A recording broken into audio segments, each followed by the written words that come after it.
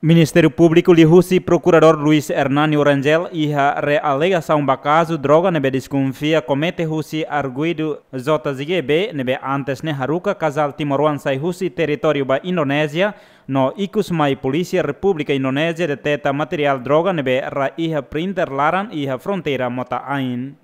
Tribunal Russo Ministério Público no parte defesa halo alegação ne, mas ia pedido o Tribunal nia nebe antes ne requer o Ministério Público ato apresenta provas com a teste ba material droga nian husi Bada Narcótica Nacional Indonésia. Tui relatório nebe Ministério Público apresenta ba Tribunal hodi halo apreciação. Tribunal considera resultado teste ba material droga ne positivo no dar prova essencial ba Tribunal hodi foti decisão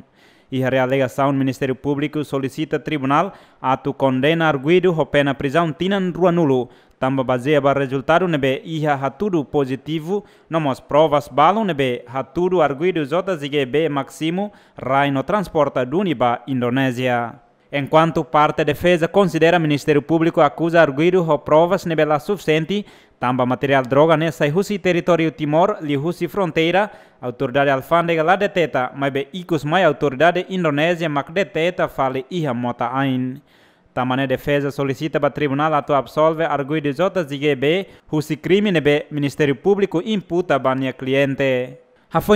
alegação husi parte rua tribunal decide adia ricas julgamento ne baloron sanulo resam lima fulan setembro tina ne, hodirona leitura acordão. Arguido JZGB desconfia comete crime tráfico ilícito ba droga nebe antes ne haruka casal timaruan lori pil ekstasi hototal musan rihunat atu soalu hitunulu resinhat sai husi território Timor-Leste ba Indonésia e hatinan rihun rua sanulu resensia.